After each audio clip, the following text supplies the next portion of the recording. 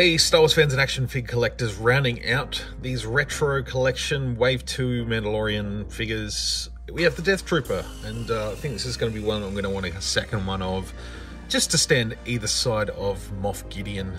Um, I think this is a really cool looking figure.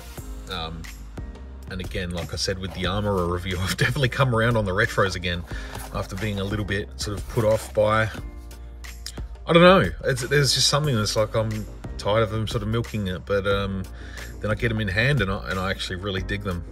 Um, so yeah, I haven't got the Navarro Cantina yet, which has the regular vintage card for the Imperial Death Trooper from the Mandalorian.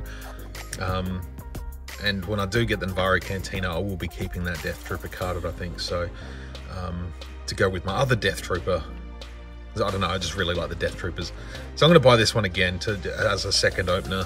Um, I think I think it's just going to be really cool. I look forward to sort of comparing them to a Stormtrooper, which I'm not going to be able to do on this video because the rest of my um, retro figures are all sort of packed away with all my other collectibles at the moment. So we're going to get straight into this one and take a look at the Death Trooper in all his black super duper awesome glory definitely one of the best troopers to come into into canon and lore in the Disney era. It's one thing that the original trilogy always did, and that was introduce a different trooper for each film. And uh, yeah, they're definitely continuing that trend now, introducing more more troopers into the ranks, which is cool to see. So here we have Kennerized style of the weapon that the Death Troopers use. I can't remember the damn name of it. It's too hard to remember them all. Yeah, definitely got the sort of the Kenner vibe with the handle and the and the stock there. Not the stock, the thingy bob. Yep. So that's cool. We get the Death Trooper. Mostly black. A couple of touches of silver there on the arm Touches of silver there on the belt. Little bit more so it focuses better. We get a little bit of green on the helmet for the, for the lenses and on the uh, speakers, whatever those things are called. Again, this information is not on me at present. It's uh, hard to remember all this stuff these days. There's so much coming out. Yeah, really, really cool. Love they continue the trend of the helmet sort of being part of the sculpt of the torso so you can't turn the helmet.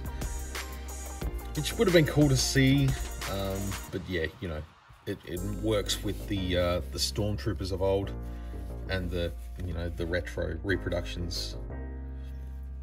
So really, really cool.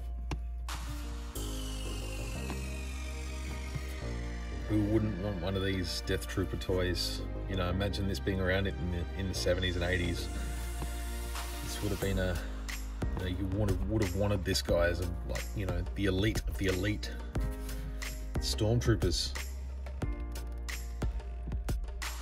I love the love the way that the sculpt has been sort of brought into that Kenner style. So simple, but it works so well.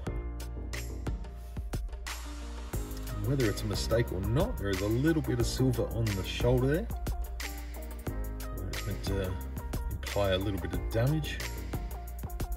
But it could also just be messed up paint, which again, very much in line with the old Kenner figures, because some of them were painted pretty roughly back in the day. But I'm, I'm digging it. I'm digging the Death Trooper. I'm looking forward to getting a second one, and uh, they'll definitely be standing behind Gideon.